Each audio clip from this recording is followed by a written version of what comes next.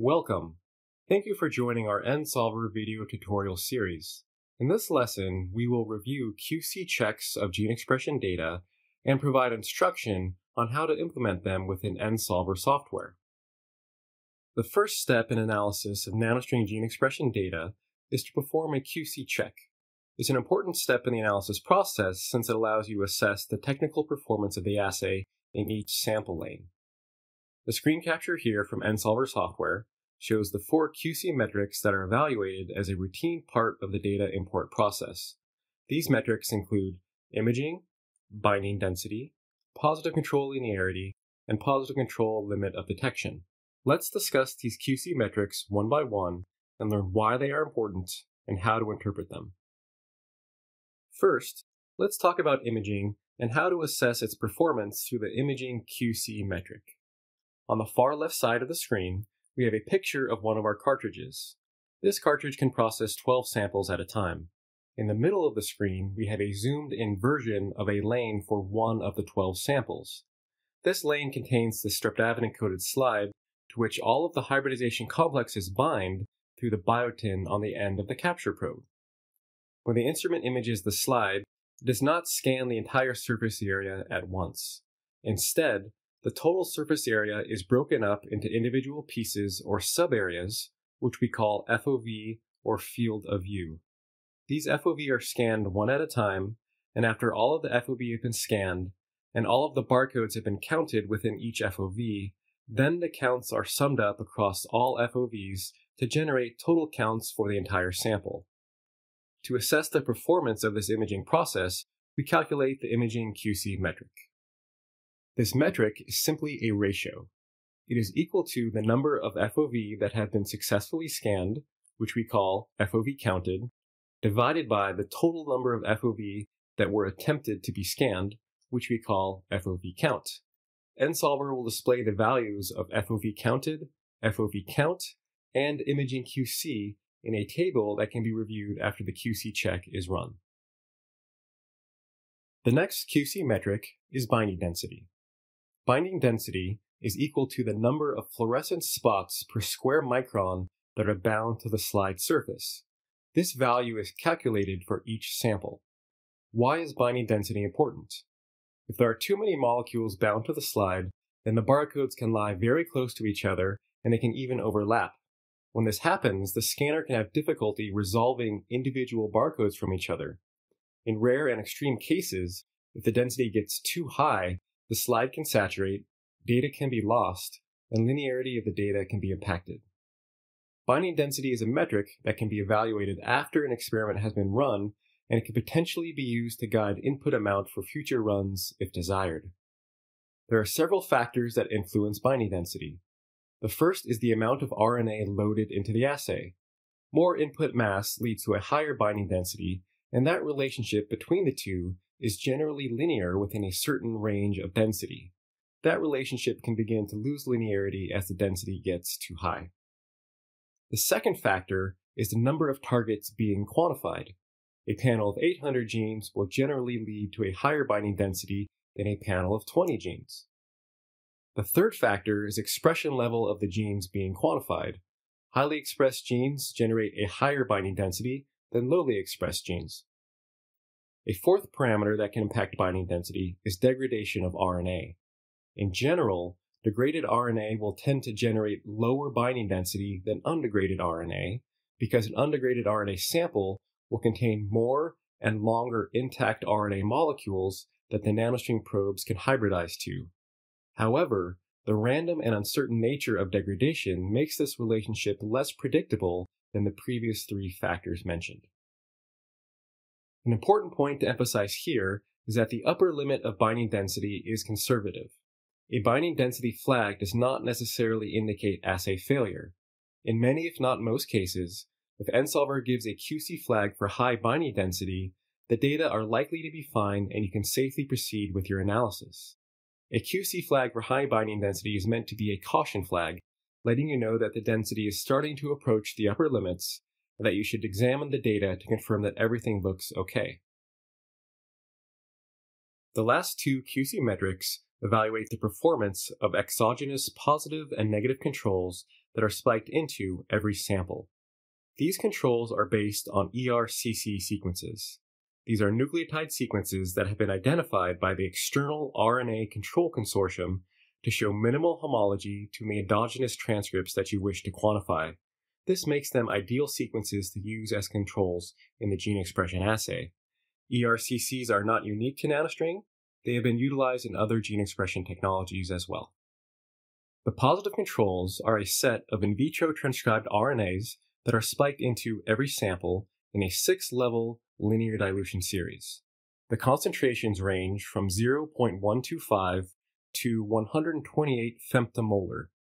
Capture probes and reporter probes for the positive controls are contained within the capture probe and reporter probe reagent tubes, respectively, and the in vitro transcribed RNAs are located in the reporter probe reagent tube. The capture and reporter probes for the negative controls are also contained within their respective probe reagent tubes. However, in this case, no target transcript is spiked into or present in the assay. These negative controls give us an idea of the nonspecific signal of the assay, which can be used to establish the background threshold or the limit of detection. Now that we've discussed the positive and negative controls, let's examine the two QC metrics that assess their performance. Positive control linearity QC is calculated independently for every sample in an experiment. It is dependent upon and assesses the performance of the positive controls. A high positive control linearity indicates robust assay performance and linearity of the data.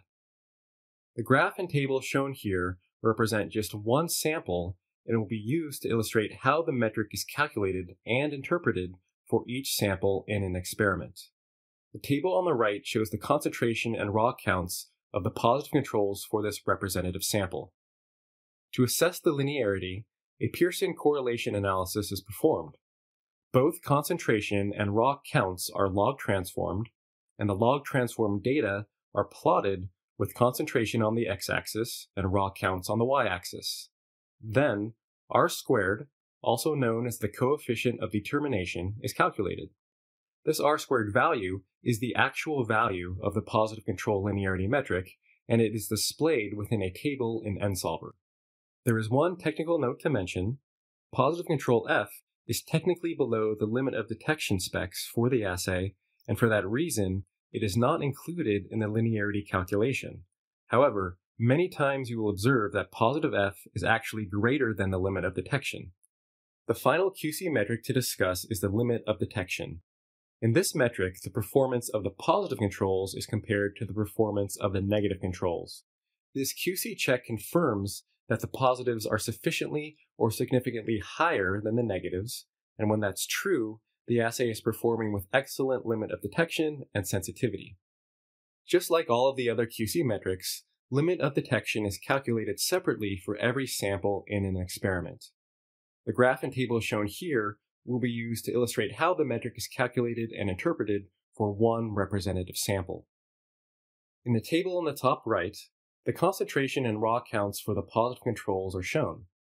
In the table in the bottom right, the raw counts for each of the negative controls are shown. The figure in the middle is a scatter plot with the concentration and raw counts of the positive controls plotted just like in the previous slide. To calculate the limit of detection metric, the arithmetic mean of the negative controls plus two standard deviations is calculated. That value is plotted on the graph here as a red horizontal line. This value is then compared to the raw counts of positive control E. If positive control E is higher, then the sample passes the limit of detection QC check and the assay is confirmed to have robust limit of detection and sensitivity. It is important to note that the data are not log transformed for this calculation. The figure here is plotted with log2 transformed data for easy visualization and instructional purposes only.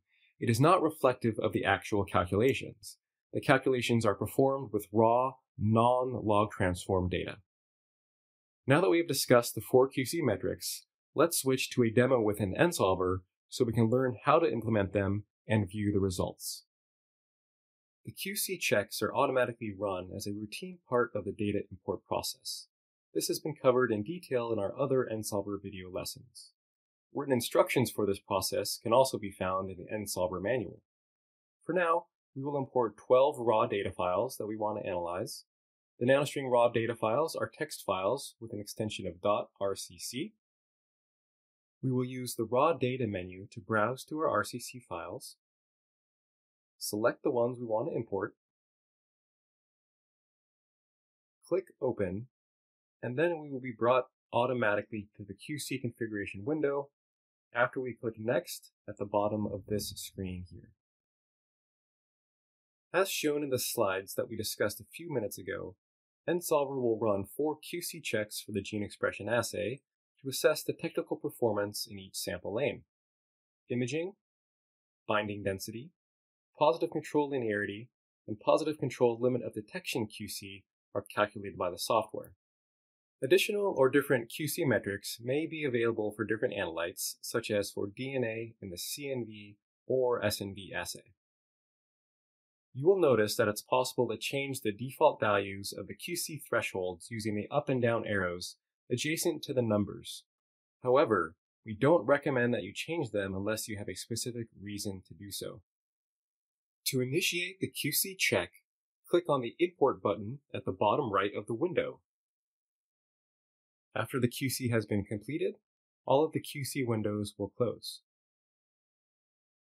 It's important to note here that in the top left the NSolver window, we are in the Raw Data tab. On the far left, make sure that you have clicked on the name of the panel or RLF for your samples. When you do that, you will then see in the middle of NSolver a table containing all of the samples that have been imported for that panel, including all data from previous experiments that have been imported. Each sample is represented as one row in the table. To check the QC results, first look at the QC flag column. If any of the QC checks did not pass for any of the samples, there will be a small yellow flag icon in this column for the sample that did not pass. More specific details are provided in the columns to the right. These columns indicate which specific QC metrics did not pass, such as imaging QC or binding density. The first time you run the QC check, you may not be able to see all available columns in this table. To view these additional columns, take your mouse and right-click anywhere on the header for the table. When you right-click, you will see an option to Show All Hidden Columns. After that is clicked on, you will then be able to inspect the actual values of all the QC metrics for all of the samples. I'll reiterate here that the default QC value thresholds within NSolver are conservative. So if any of the QC values do not pass, that doesn't necessarily indicate assay failure. The QC flags are meant to be a caution, indicating that the data should be inspected closer to make sure everything looks okay. Thank you for joining us for this overview of QC checks for the gene expression assay. If you have additional questions, please contact NanoString support by email at support at nanostring.com or by phone at 888 358 6266. Please continue your education by following our video training curriculum at the website listed here. Thank you.